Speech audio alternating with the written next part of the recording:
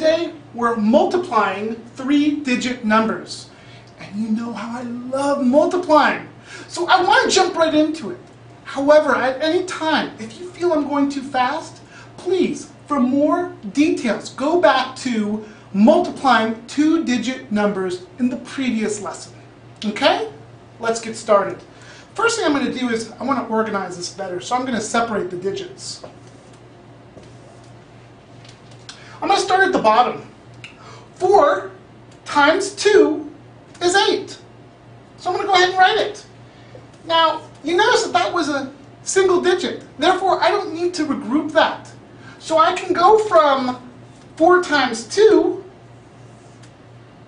and I can move on to 4 times 6. I'm going to put this little circle around that 6 just to remind you of where to go next. 4 times 6 is 24.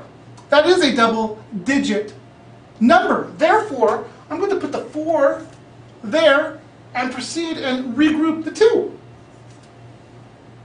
Now, I'm going to multiply the 4 times the 3. 4 times 3 is 12. I'm going to add the 2 that were left over, and I'm going to make it 14.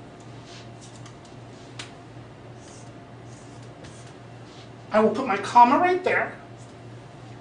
We read this 1,448. This concludes our lesson on multiplying three-digit numbers. Coach Mike from My Growing Brain, challenge yourself.